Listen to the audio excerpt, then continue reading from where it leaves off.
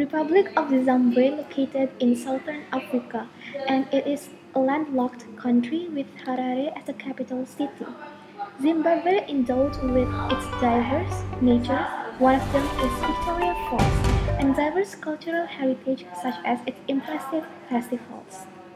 Festival is a special time or event when people gather to celebrate something. Some of the festivals in Zimbabwe are festival is Jikinya Dance Festival. Jikinya Dance Festival is a dance festival for primary school pupils. The festival is held annually and aims at encouraging children to appreciate and perform Zimbabwean traditional dances. Various dances are performed during the competitions and this includes Juris Arama, Zinke, Bosana, Nyao, and many more.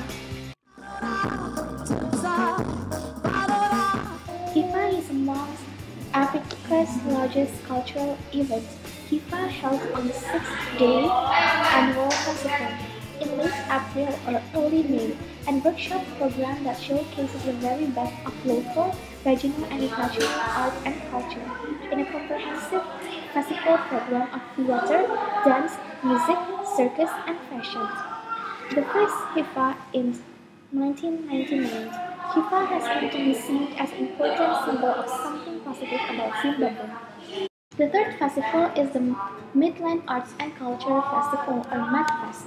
It is giving room for more artists from all the corners of the country to participate in the annual event. Festival founding director is Joe W. The festival will hold around September. The program includes music, cultural tours, theater, parades, exhibitions, storytelling, and reading.